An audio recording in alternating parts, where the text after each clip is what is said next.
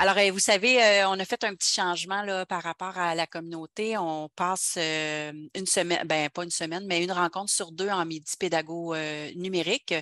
le but de tout ça, c'est sûr que c'est de, répondre à vos questionnements si vous en avez. Moi, j'ai toujours quelque chose de préparé au cas où on, a envie de se laisser guider par tout ça. Un petit rappel à tous pour l'intervention juste à temps. Je le répète à chaque fois parce que j'ai de plus en plus de, je partais pour dire adeptes, c'est un peu un grand mot. Je vais vous dire plus, euh, j'ai de plus en plus de, rencontres en l'intervention juste à temps. Alors, gênez-vous pas, c'est à tous les mercredis de 9h à 11h. Je sais que la plupart, vous êtes peut-être en classe ou n'importe quoi. Vous pouvez quand même m'écrire si vous voulez me rencontrer. J'ai plein d'autres moments là, qui que je pourrais vous accorder. Ça peut être sur l'heure du midi à n'importe quel moment. Je suis vraiment disponible pour vous. Mais assurément, tous les mercredis, je suis là en passant par les après-cours, le, petit bouton rouge. voilà. Alors, cette année, on a comme quatre rencontres de midi pédago. là, j'ai mis le 9 et le 16 en parenthèse parce que le 9, j'ai déjà un rendez-vous planifié. C'est sûr que je ne serai pas là. Alors, on en reparlera la prochaine fois, voir si on peut changer cette date-là. Mais assurément, ce ne sera pas le 9. Vous pouvez le changer directement dans votre calendrier si vous l'avez déjà pris. C'est changé dans l'agenda aussi. c'est oui. C'est vite de même. Oui. Parle-moi de ça. C'est de l'efficacité même. Une chance, je l'ai, ce Richard-là. je l'inventerai. dans la page du calendrier, j'ai mis une page ressources. Donc, à chaque fois qu'on va parler de quelque chose, je vais les regrouper au même endroit. C'est dans le même document. Si vous cliquez, c'est un lien vers la diapo 7. Il n'y en a pas beaucoup présentement parce que c'est notre premier. Alors, je vous amène aujourd'hui pardon, euh, la dernière rencontre, je vous avais proposé certains sujets. vous aviez mis des X aux endroits qui vous intéressaient. Aujourd'hui, ce que je trouvais vraiment intéressant, c'est de vous amener sur Biblius. ça ne sera pas très long, mais je trouvais ça pertinent d'en parler rapidement dans l'année. Donc, je vais me permettre de vous parler de Biblius quelques instants. Puis, je vais me permettre aussi d'aborder le dossier documentaire. L'année dernière, on a fait deux midis pédagogues consécutifs. Ça a été, je vous dirais, un, un engouement pour le dossier documentaire et euh, on a créé un outil où tous les, euh, les, intervenants, les enseignants de la, FGA peuvent aller déposer leur dossier documentaire sur un sujet en particulier et c'est séparé par code de cours, par cycle de cours. Donc, euh, ça, ça devient intéressant. On en perd-tu du temps à chercher euh, des, euh, des, ressources, des vidéos, des textes? Ben, c'est ce qu'on voulait éviter, c'est de, la force du réseau, puis de créer des dossiers comme nous, documentaires.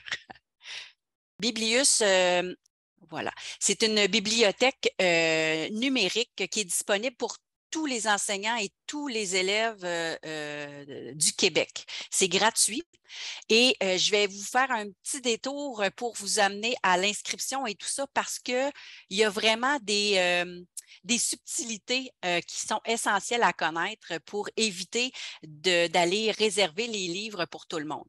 On a deux bibliothèques. Je vais aller par ici.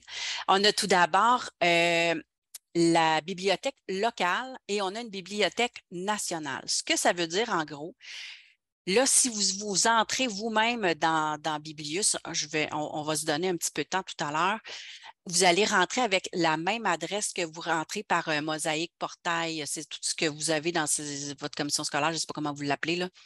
Euh, c'est le même, même, même euh, même compte. C'est accessible à tous. Tous les centres de services ont été euh, acceptés, en tout cas, ont adhéré à Biblius. Je n'ai pas la même bibliothèque que vous, assurément, parce que chaque centre de service choisit les livres qu'ils ont envie de mettre. Des fois, ça revient pareil, parfait. Puis on a la Bibliothèque nationale où c'est des auteurs qui ont décidé de mettre leurs livres à disposition de tous et de façon illimitée. C'est là la différence qu'il faut vraiment comprendre. Alors, tout d'abord, si je vais dans recherche avancée, je vais aller faire euh, une recherche sur le public. Je vais mettre adulte et je vais mettre euh, la langue en français, par exemple, et je vais faire rechercher. Bon, là, assurément, la première ligne, demandez-moi pas pourquoi ça ne fonctionne pas, ce n'est pas des livres pour adultes. Mais euh, quand on, poursuit ça peut être 16 ans et tout ça. Il faut quand même faire un petit, débroussaillage dans tout ça, mais il y en a quand même beaucoup. Alors, si par exemple, j'ai pris irrécupérable. J'ai fait mes recherches avant pour vous éviter de chercher pour rien. Voyez-vous ici, c'est marqué exemplaire illimité. Puis ça, c'est vraiment important. Quand c'est exemplaire illimité, il y a moins d'impact.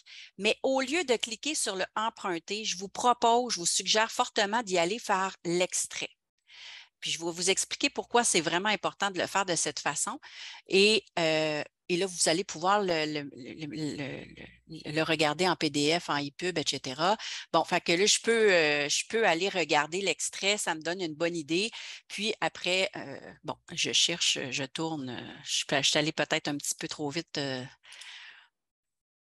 mais en, principe, on voit quand même rapidement est-ce que le style de lecture peut nous, peut nous tenter, puis est-ce que est-ce qu'on poursuit ou pas? Alors, ça, c'est. Oui?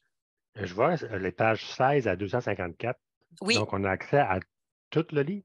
Non, à partir de, si je ne m'abuse, c'est ça. Voilà, page 20, c'est terminé. Fait que c'est vraiment, juste l'extrait. Exact.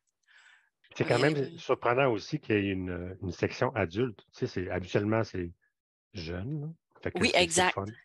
Puis ce qui est intéressant, c'est que si, par exemple, euh, ça vous importe peu, mais je vous le dis quand même, si par exemple, il y a un, enseignant de cinquième année, puis il met des livres en bas de 12 ans, tout ce qui est 12 ans et plus, ils n'auront pas accès du tout jamais à la bibliothèque. Fait ça, c'est vraiment chouette. Alors, pourquoi c'est important? Si je reviens à ma sélection, celle-là, c'est un exemple, c'est un exemplaire illimité. Donc, c'est la Bibliothèque nationale. Ça a été une entente nationale.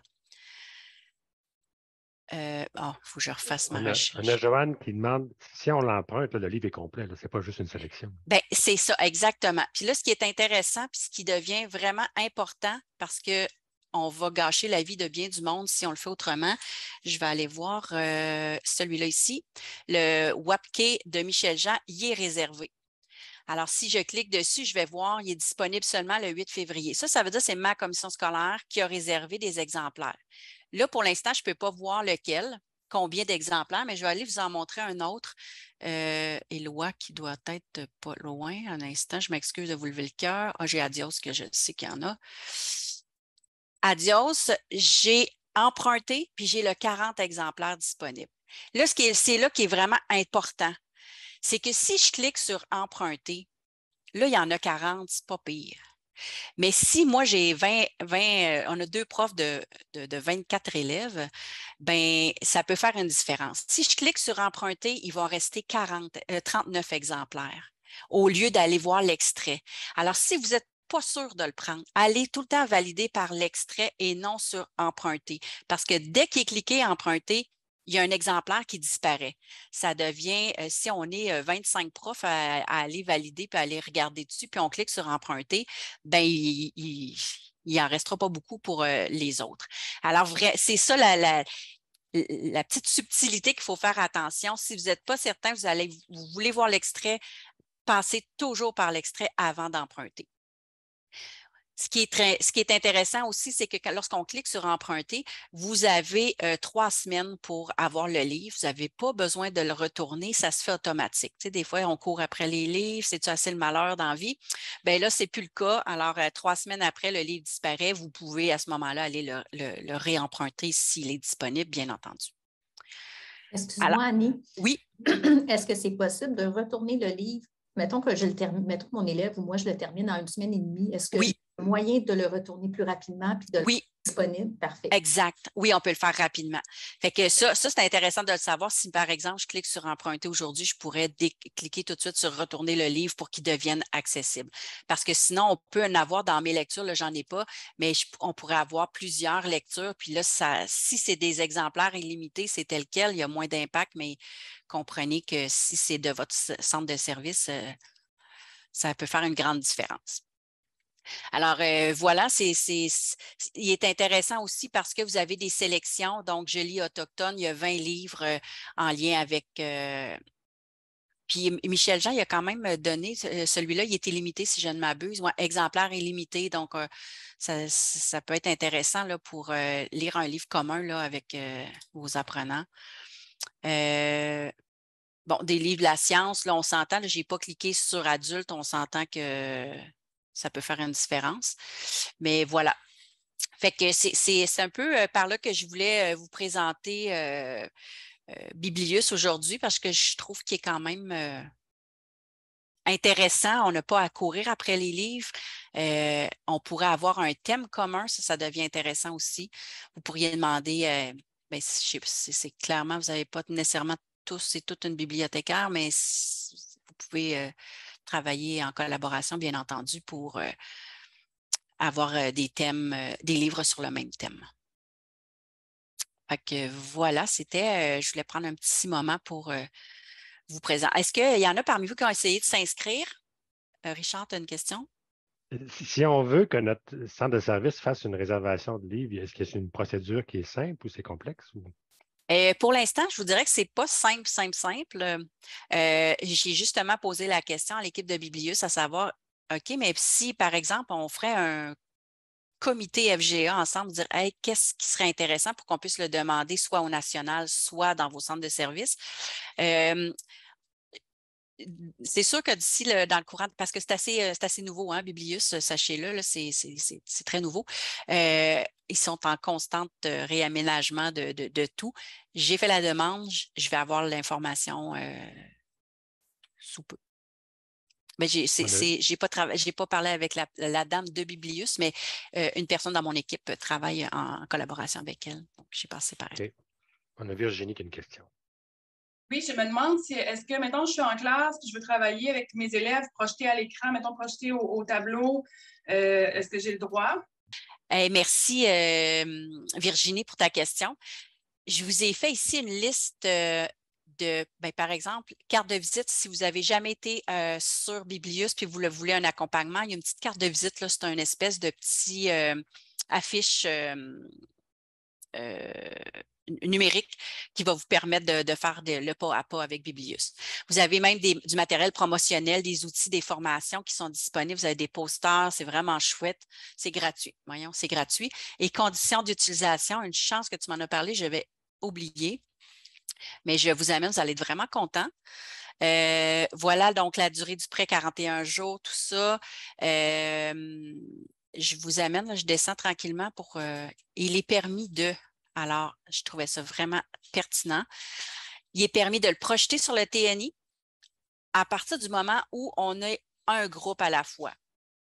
Donc, vous êtes avec votre groupe, vous pouvez le, projeter sans, sans, Il n'est pas permis euh, euh, projeter au TNI un extrait ou la totalité de l'œuvre à plus d'un groupe. C'est ça la, différence. Mais si je l'ai sur le TNI, puis j'ai un groupe, je peux, euh, euh, partager l'extrait ou la totalité de l'œuvre, puis la travailler en grand groupe.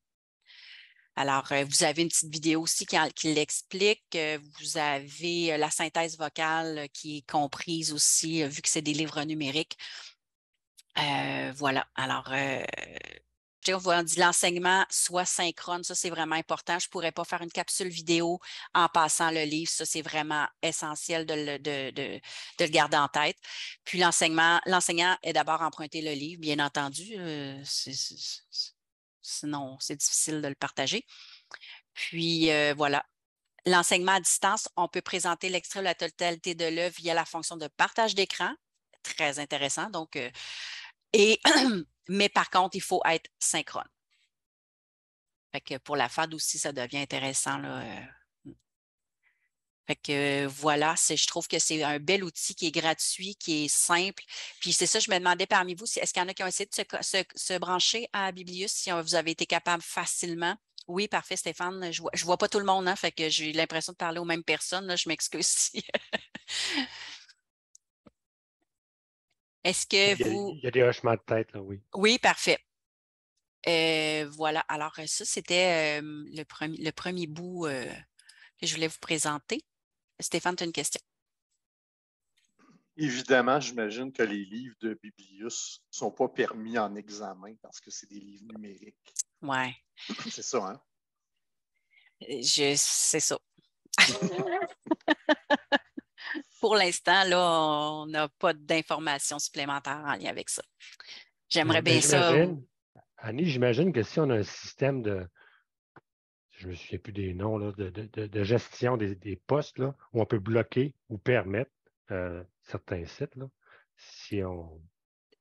J'imagine que oui, parce qu'on peut quand même utiliser le PDF qui est hors connexion. Alors, je ne veux pas m'avancer si on a le droit ou pas parce que je n'ai pas la, confirmation puis la validation de tout ça avec les infos sanctions, tout ça. je ne veux pas embarquer là-dedans, mais j'imagine que c'est possible puisque le PDF est disponible. Et le PDF permet la lecture.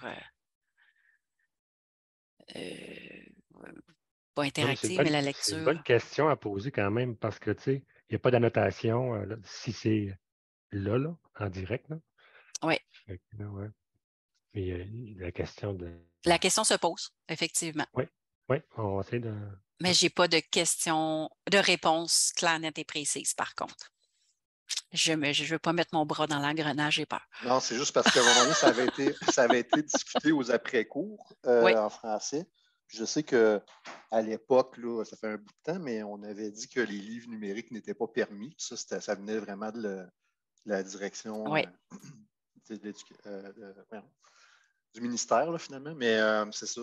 que je voulais juste savoir si avec Biblius, il y avait eu une entente avec le ministère, ou en tout cas, j'imagine qu'éventuellement, ça va progresser, tout ça, parce que c'est ça.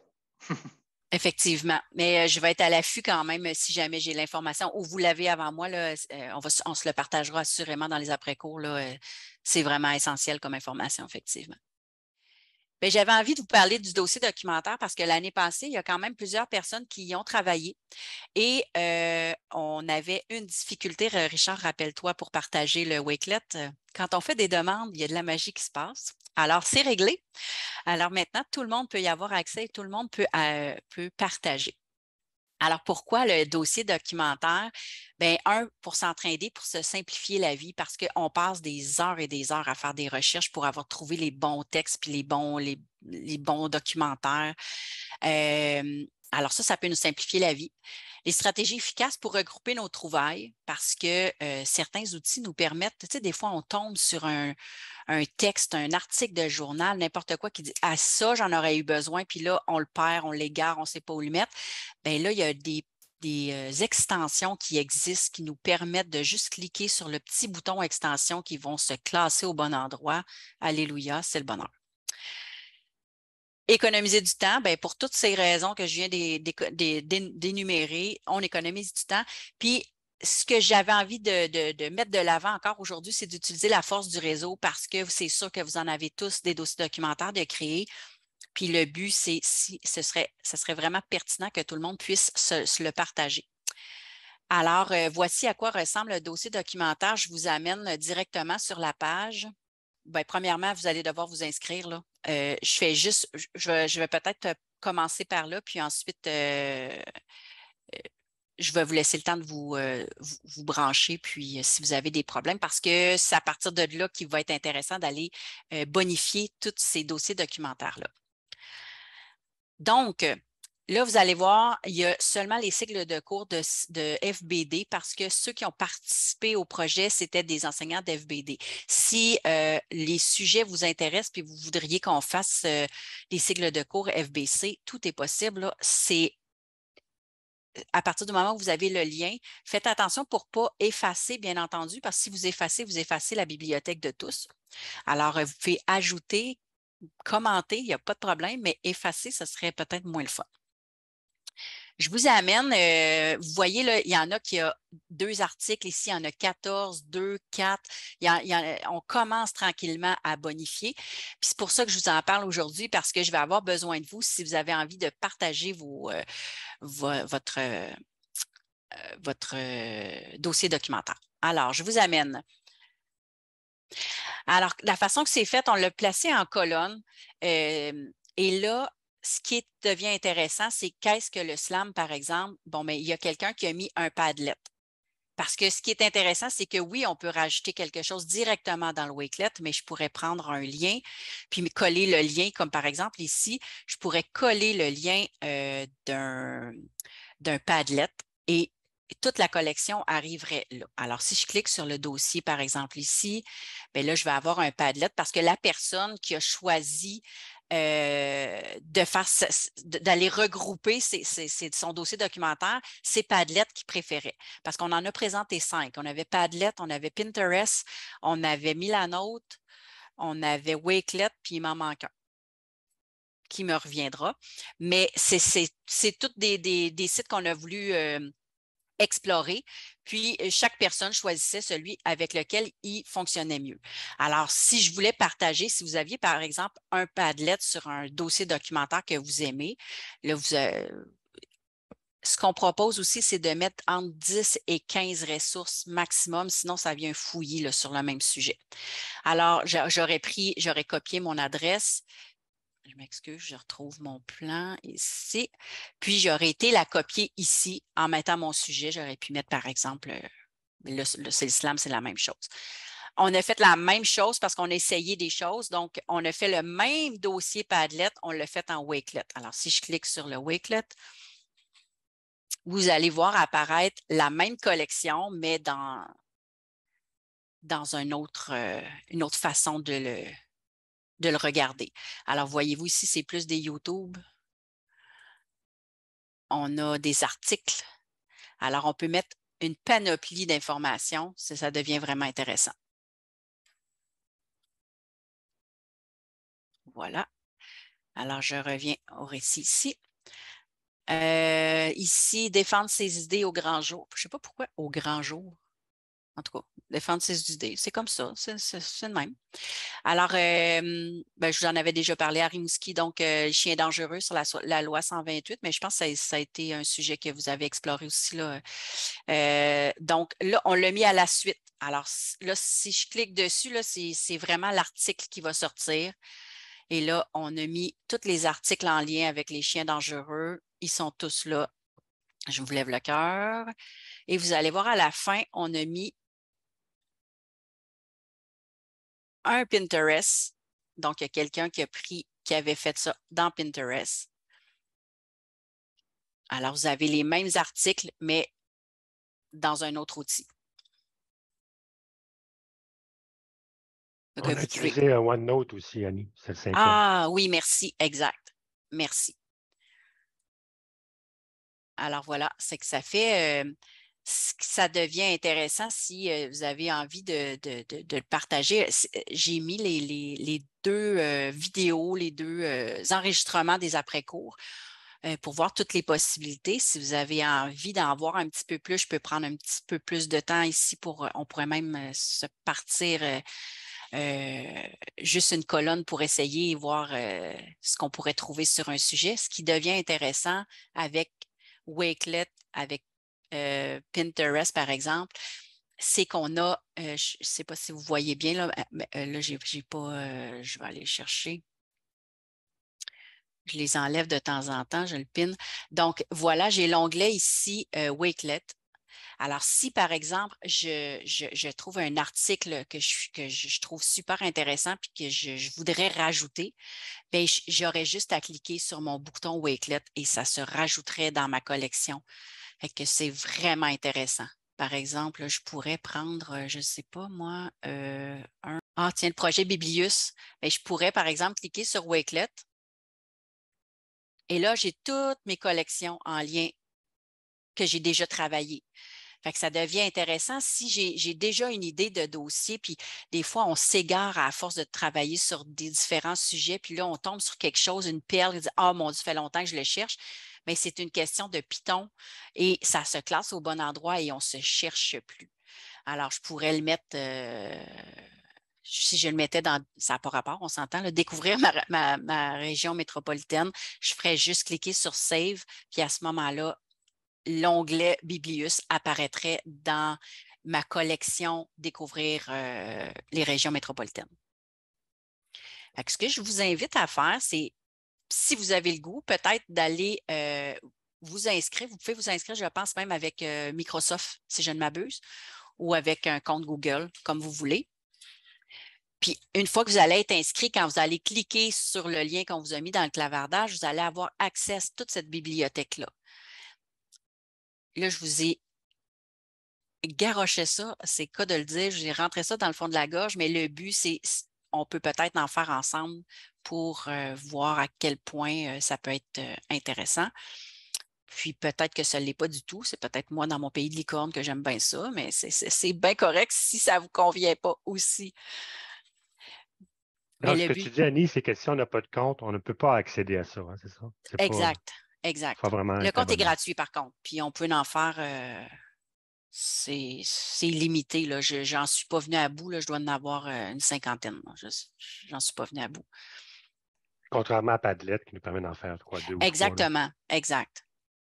Et, ah, j'ai oublié de vous montrer, si par exemple, vous arrivez à hum, défendre ces idées, puis vous avez envie de prendre tout ça parce que vous le trouvez intéressant, parce que là, parce que d'ici deux, trois mois, il va y avoir vraiment beaucoup de sujets, bien, vous allez pouvoir, par exemple, copier la collection. Ou vous, euh, si vous la déplacez, par contre, sachez que si vous la déplacez, euh, on la perd, nous ici. Là. Fait que déplacez-les pas, mais copier la collection. Alors, si je copie la collection, ça s'en va directement dans mon compte personnel et vous allez pouvoir la réutiliser comme bon vous semble. Enlever, là, vous ferez ce que vous voulez une fois qu'elle est copiée. Ce qui devient intéressant aussi, je vous en ai fait une démonstration. Je peux faire une copie en PDF de ma collection. Alors, voyez-vous, là, j'ai, je vous ai montré le, dossier SLAM, par exemple, bien, et tout est cliquable. Alors, je l'ai en PDF et tout est cliquable. Je peux même euh, regarder la vidéo. Euh, tout est là, tout est disponible. Alors, c'est une autre façon aussi, vous pourriez euh, le mettre, par exemple, dans un, Moodle ou peu importe. Et ça, pour y arriver, là, vous avez seulement à exporter au format PDF et vous allez y avoir accès pour euh, ajouter un sujet, par exemple. Là, il y a une chose que je ne suis pas capable de faire présentement, c'est euh, de vous donner l'opportunité de rajouter un sujet. Mais ça, euh, on, a beaucoup amélioré depuis l'année passée. Je devrais y arriver aussi, mais ça, à la limite, vous pourriez rajouter votre sujet l'écrivant là, ici, par exemple, en dessous. C'est un peu le même principe que Padlet. Alors, euh, je pourrais coller une adresse, tout simplement.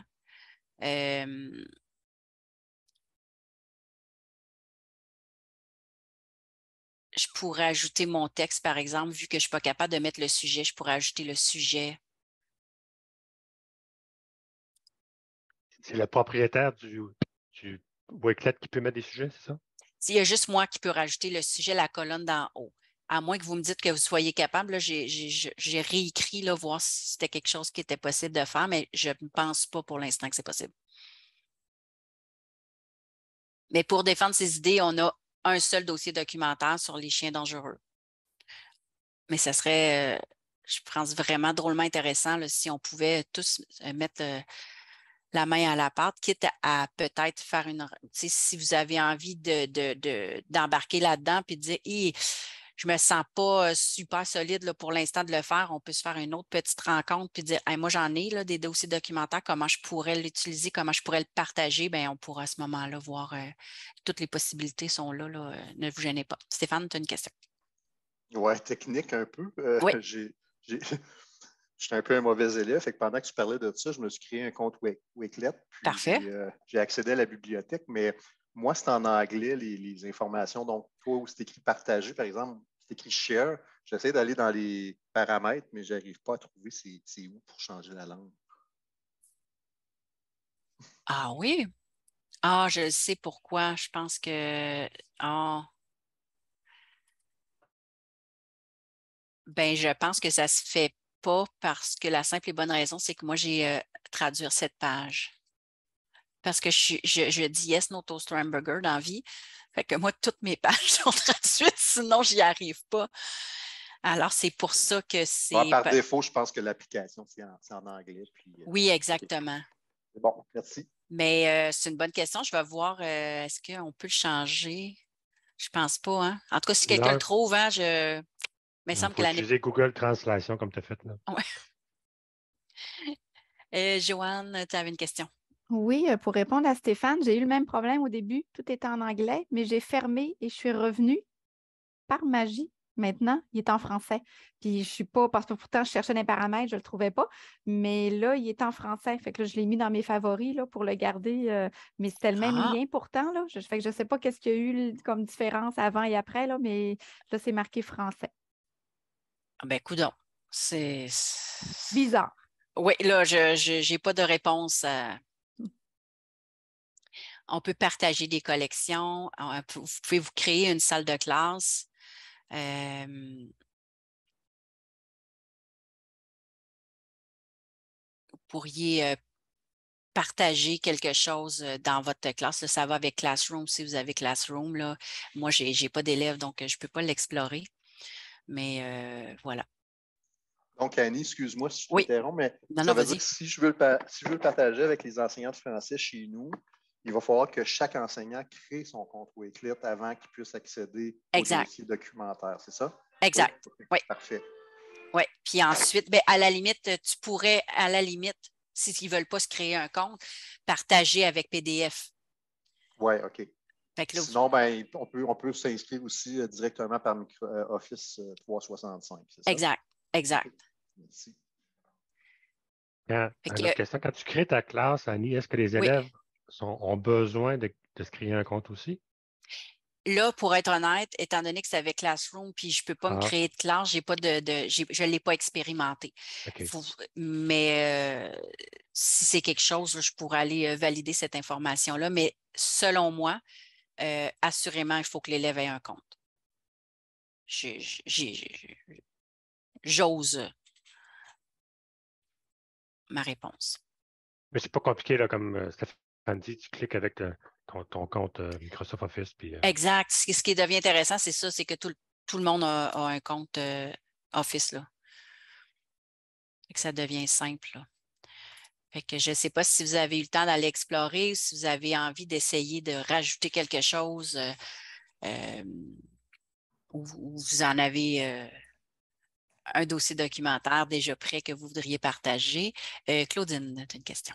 Euh, en fait, euh, je suis capable de retrouver certains des wakelets, mais je n'arrive pas à arriver justement sur cette page-là que, tu nous partages présentement où j'ai l'éventail de, tout ce qui a été fait. Est-ce qu'il faudrait que je tape FGR ici English? Si vous cliquez dans, votre, dans la présentation ici, sur cette image-là, vous allez ah, tomber ah, directement dessus. OK, parfait. Puis une fois que vous allez y avoir accès, il va toujours apparaître ici, il va toujours apparaître dans les espaces parce que j'ai créé un espace, ce n'est pas dans ma bibliothèque, j'ai vraiment créé un espace. Oui, parfait, c'est bon, merci. Puis pour ajouter un espace, vous, faites, euh, vous pourriez rajouter votre propre espace à vous, puis créer un euh, centre de service, euh, peu importe. Là. Fait que là, ça devient intéressant de partager. Parfait, merci. Je vous ai partagé aussi dans le, cette présentation-là, dans la page de ressources, le lien directement vous allez, il va toujours être là. La présentation euh, du dossier documentaire de l'année dernière, puis les deux vidéos de, des midis pédago numériques de l'année dernière. Euh, vous pouvez cliquer dessus, mais là, je vous amène ici. On avait présenté ces, cinq outils numériques-là et je vous amène quand même, je prends euh, deux minutes. Pour l'inscription, là, vous allez voir, on a fait un, une espèce de, d'étapes à suivre pour vous inscrire, euh, pour le créer aussi. Vous avez à ajouter l'extension, ce que je vous parlais tout à l'heure, de la, petite icône qui se trouve en haut dans ma boîte de, Google Chrome. Vous l'avez pour Firefox, pour euh, Microsoft Edge. Vous avez seulement qu'à cliquer pour avoir accès à, à cet onglet-là qui va vous permettre de l'avoir toujours affiché, puis d'aller rajouter un sujet qui vous, dont vous, euh, vous voulez explorer avec vos apprenants facilement, sans nécessairement ouvrir le Wakelet, aller le porter à bonne place, faire un copier-coller. Fait que ça, ça nous simplifie la vie. Alors, si je peux vous, euh, je peux, euh, si je clique ici, là, j'ai l'extension Chrome de Wakelet. Alors, moi, c'est marqué supprimer, mais ce serait, écrit ajouter. Je peux le mettre dans le clavardage si vous voulez. Là. vous l'ajoutez à votre barre d'outils. S'il n'apparaît pas, c'est parce que vous en avez beaucoup trop comme moi. Alors, vous allez cliquer sur le morceau de casse-tête, ils vont tout apparaître. Alors, moi, ceux qui sont, euh, comment, je ne sais pas en anglais, épinglés. Ceux qui sont épinglés, c'est ceux que je vois. Donc, c'est ceux que j'utilise euh, régulièrement. Et là, Wakelet, vous allez seulement qu'à cliquer pour l'épingler, il va apparaître à ce moment-là dans votre barre d'outils. Mais si vous êtes habitué à Padlet, si vous êtes habitué à Pinterest, continuez de l'utiliser. Faites juste faire le copier-coller de votre, votre dossier documentaire pour l'intégrer dans le Wakelet. Alors, si vous avez envie de partager, bien entendu. Il y avait euh, Chantal qui, avait qui avait partagé avec nous euh, l'économie circulaire. On pourrait en faire, comme je vous dis, pour la FBC aussi. On a fait un projet justement à Varennes, si je ne m'abuse, euh, avec Karine Lachance, puis euh, une enseignante qui ont travaillé sur le 4102, puis on, a partagé euh, le dossier documentaire en lien avec l'invasion américaine. On avait un dossier sur les Templiers aussi qu'on avait créé avec Milanote. Notre-Dame de Paris, avec Padlet, avec Pinterest, euh, Stéphane. Oui, pour la partie FBC qui n'est pas développée, est-ce que ça peut prendre d'autres formes? Par exemple, euh, nous, on a créé un, ben, on a créé un Padlet chez nous pour. Euh, on, veut revisiter les écoutes en FBC. Fait qu'on essaye de, faire ça différemment pour les élèves en apprentissage. On a créé un Padlet, entre autres, sur une situation d'apprentissage. En fait, sur une situation d'apprentissage. Est-ce que ça, c'est quelque chose qui serait pertinent pour le Wakelet ou ça, devrait être ailleurs? Bien, tout dépendant comme vous autres. J'imagine que si vous avez un Padlet, c'est que vous avez une licence parce qu'après trois, c'est. Pas encore, ça s'en vient. ça s'en vient. Mais l'outil en soi, Padlet, est excellent. Là. Euh, la, raison pour laquelle on a choisi de, regrouper tout ça dans Wakelet, c'est que Wakelet, on peut en, utiliser comme on veut. Puis, il n'y a, pas de, minimum mais la plupart aimaient beaucoup déjà Padlet. c'est pour ça qu'on a plusieurs euh, euh, personnes qui ont utilisé Padlet pour l'intégrer dans le Wakelet. Le Wakelet a été choisi. Oui, excusez-moi. Ma question, c'était plutôt orientée sur le fait que, tu sais, comme là, ça s'appelle, c'est un répertoire de dossiers documentaires. Pour la FBD, je comprends très bien l'utilité. Mais en FBC, on n'a pas nécessairement besoin de dossiers documentaires, mais est-ce que, autrement dit, est-ce que ça peut prendre d'autres formes comme des situations d'apprentissage disponibles pour les élèves? Ah, je comprends que tu mettrais la situation d'apprentissage dans le Wakelet. Oui. Euh, je le vois moins bien, je dirais. OK, c'est ça, c'était ça ma question. Merci. J'utiliserais probablement plus euh, Milanote, par exemple, qui pourrait faire. Euh, mais, remarque que Padlet est, excellent. Là. Je, je, l'aime beaucoup. Là. j'ai, ma licence aussi. ici, dans la présentation du Google Slide du dossier documentaire, vous, euh, vous avez chacun des outils. Là, je m'excuse, je vous lève le cœur, mais j'arrive à Milanote. Pourquoi qu'on l'aime? Ben, c'est gratuit, mais l'inscription est obligatoire. On, préconise la gratuité, bien entendu. Puis, euh, on vous propose aussi euh, des façons de faire puis d'aller comment aller l'explorer. Puis on a la même chose aussi avec euh, Milanote, c'est-à-dire un petit extension qui nous permet d'aller mettre euh, des informations qu'on trouve pertinentes au même endroit sans ouvrir l'application. Sans... C'est l'efficacité qu'on a ciblée. Milanote pourrait répondre beaucoup plus à, ta demande, Stéphane, que Wakelet, qui est Wakelet, je trouve, qui est ciblé pour euh, les dossiers documentaires.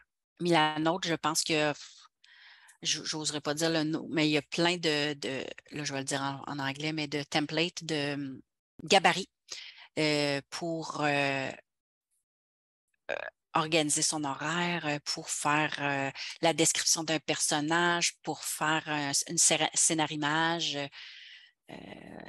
il est plus versatile.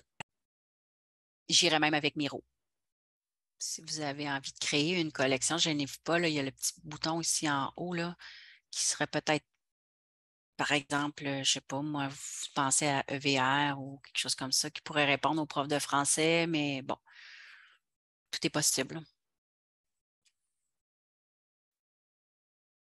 bref, je trouvais ça important de vous la présenter parce que cet outil-là, parce que je trouve que si tout le monde y met du sien puis qu'on essaie de, bonifier cette collection-là, ça devient vraiment agréable pour tout le monde. Puis ça donne des idées aussi de, thèmes. Si vous avez envie de, sortir des thèmes que le cahier propose, par exemple, ben, ça peut être une belle. Ou, de bonifier que la collection que le livre propose. ça peut être intéressant aussi.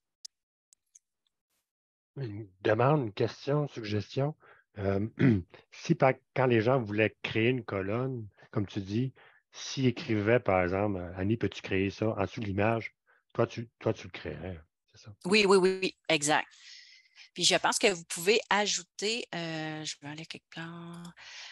Parfait. Fait que vous pouvez ajouter autant de colonnes que vous voulez. C'est juste le sujet que vous ne pouvez pas changer. Mais à la limite, comme je vous disais, en écrivant ici, en cliquant en dessous du sujet 3, par exemple, ici, là, je pourrais cliquer sur euh, ajouter du texte, puis je pourrais écrire le sujet, là, sujet 1, mettons. Là.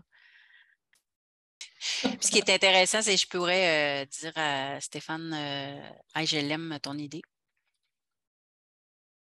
Le lecteur immersif, pour euh, vos élèves en difficulté. Alors, vous avez seulement qu'à cliquer, j'ai oublié de vous le dire tout à l'heure, mais vous avez seulement qu'à cliquer sur les trois petits points et vous pouvez euh, utiliser le lecteur immersif pour vos élèves en difficulté.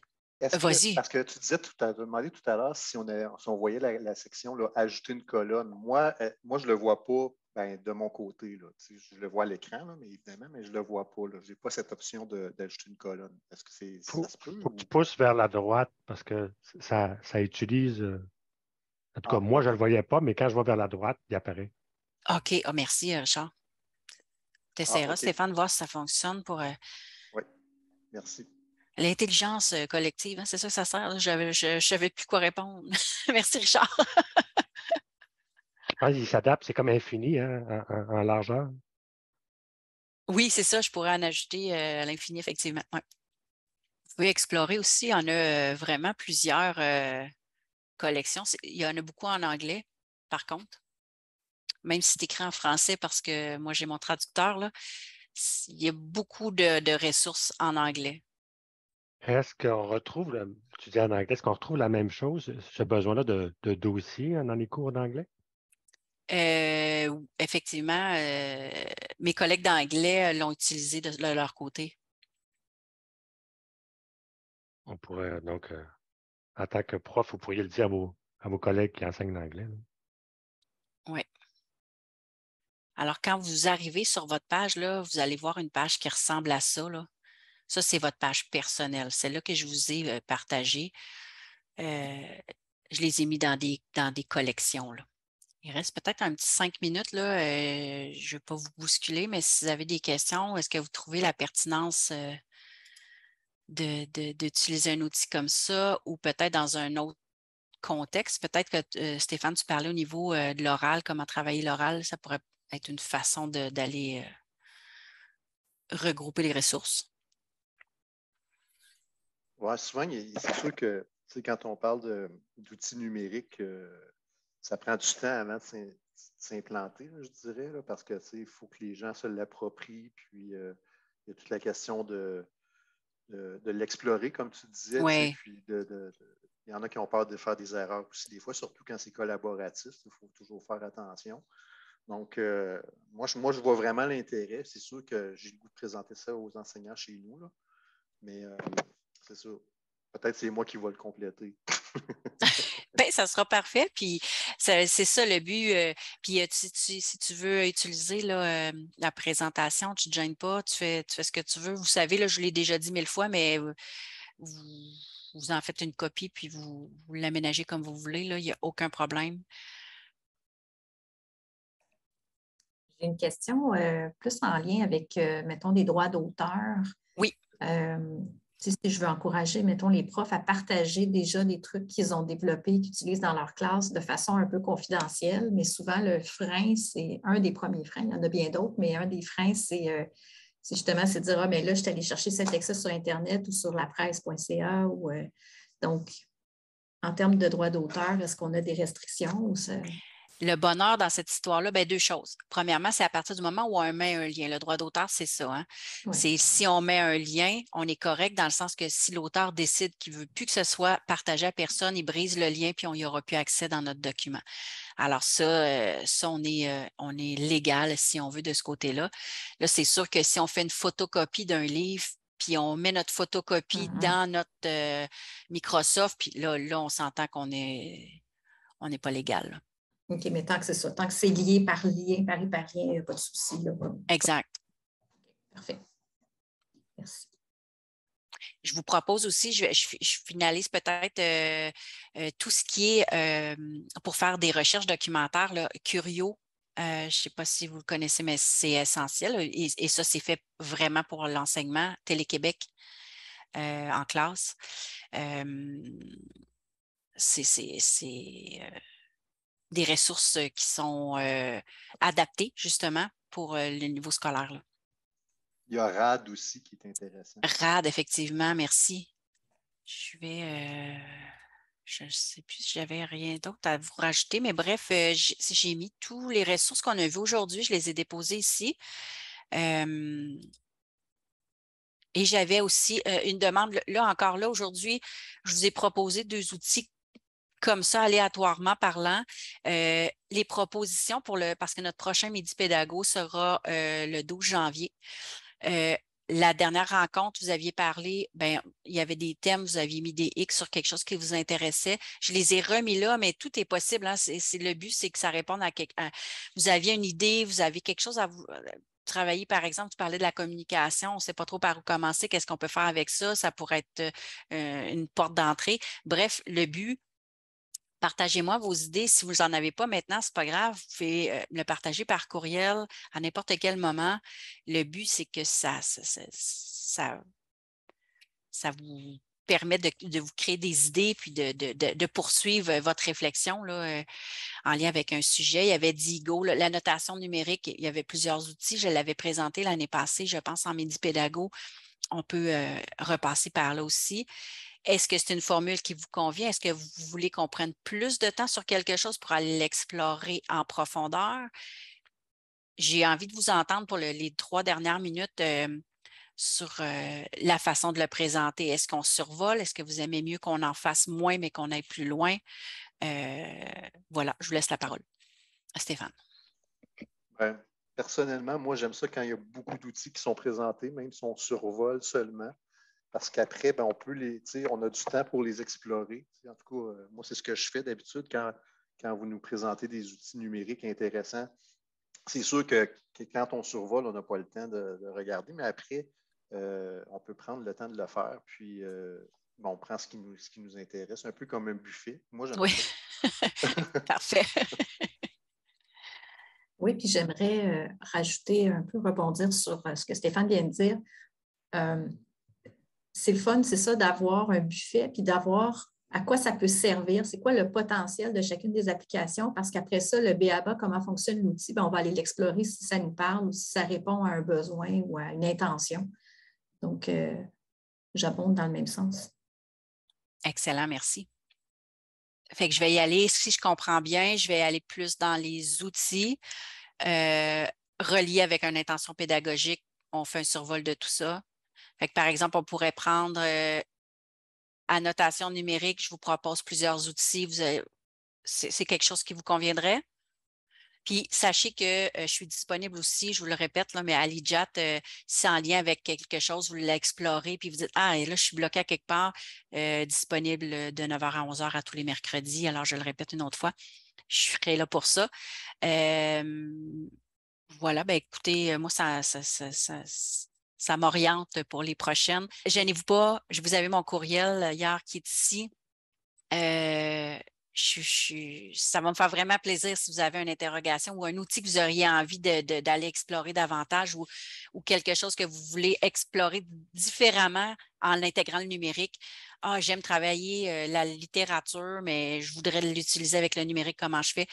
Vos idées sont les bienvenues, puis je vais m'y référer assurément merci, merci beaucoup d'avoir été là. Merci.